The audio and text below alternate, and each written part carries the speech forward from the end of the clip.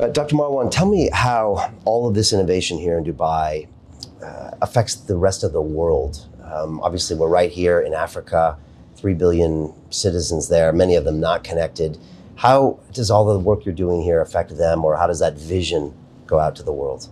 Uh, first, uh, like I mentioned before, Dubai is an area of hope. A lot of jobs actually created in Dubai employ a lot of people in other regions, uh, especially in the Arab world and the Muslim world. Uh, that's our neighborhood, literally. So a lot of uh, jobs also that the firms are actually based in Dubai.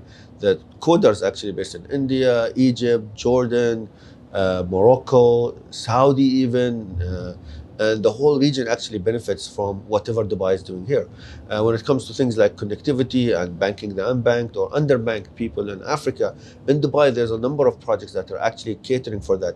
Dubai is the springboard or the launch pad for a lot of projects that are actually in Africa. A lot of the Afri African countries' leadership actually comes to Dubai to look for technology and partners to improve their ecosystems, whether it is for hardware, software, coding, uh, you know, even for strategy and leadership. It is always uh, Dubai is the focal point for them and also the meeting place. A lot of times you see, even here in GITEX today, you see a lot of un, uh, African subcontinent uh, technology, uh, you know, uh, companies as well as politicians and government heads come to Dubai to seek this kind of learning as well as actual solutions from Dubai. Mm.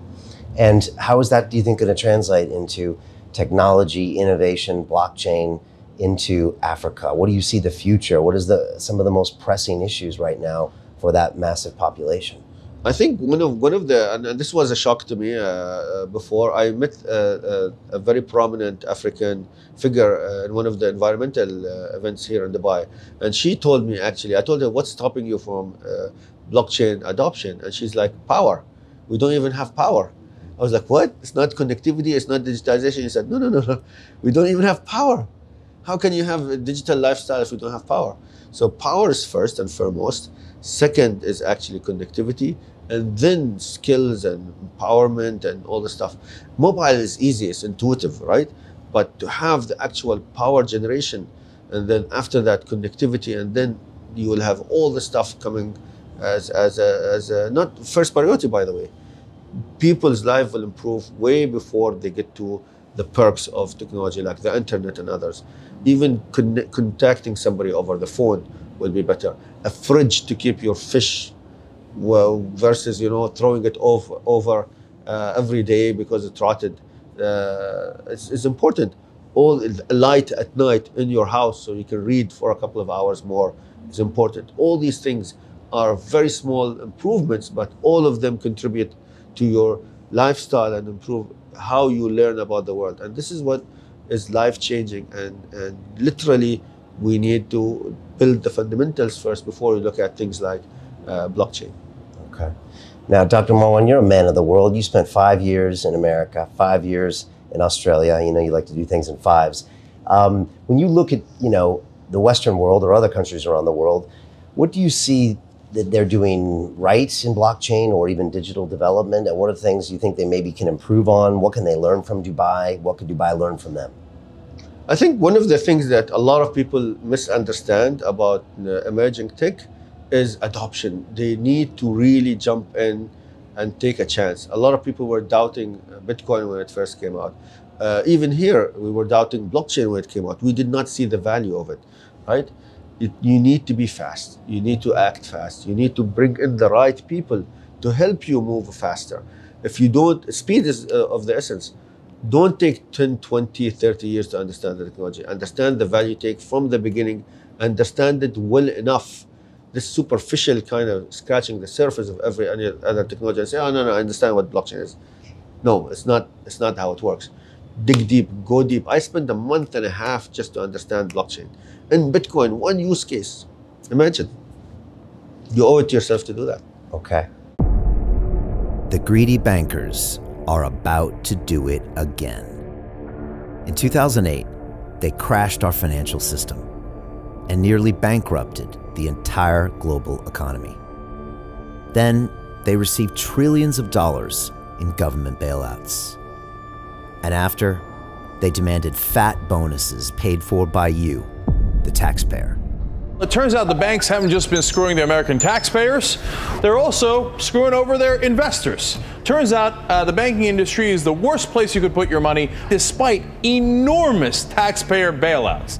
Now the bankers are back to take away your financial freedom. They lie and tell you that cryptocurrency isn't safe.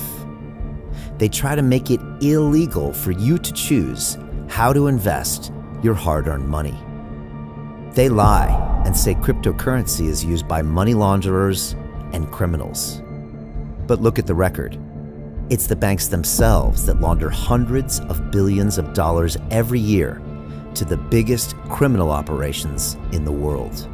Leaked documents have revealed how some UK banks have helped criminals, money launderers, and Russians under sanctions. American authorities discovered that the Sinaloa cartel moved $881 million through HSBC accounts as bank officials turned a blind eye to the illegality. The bankers lie and say cryptocurrency is not a real investment. Meanwhile, the smartest CEOs in the world are buying billions and billions of it. The truth is that banks lie about cryptocurrency because it makes them scared.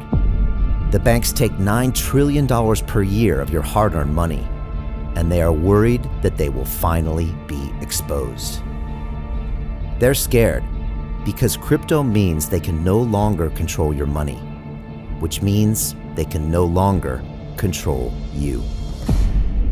They are scared because you might actually understand your money and intelligently decide what to do with it. Now is the time for us to come together, fight back, and take control. It's time to educate ourselves, our families, and our communities. Because financial education means financial freedom. We know that cryptocurrencies will help us build the new decentralized financial system of the future a banking system that is of the people, by the people, and for the people. A banking system where access to finance is a fundamental human right. A banking system that is free and fair and welcomes all humans on this earth. The DeFi revolution is happening. We, the people, can no longer be fooled. We choose to take control of our finances. We choose to take control of our freedom we choose to take control of our future. Join us, and let's take back our financial freedom forever.